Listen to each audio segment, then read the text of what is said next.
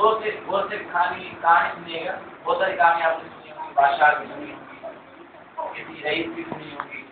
बहुत सारी कहानी लेकिन कहानी का जो अनुमान है, वो है सेहत अच्छी और खुशियाँ ज़्यादा। क्या कहानी का क्या नाम है? सेहत अच्छी और खुशियाँ ज़्यादा।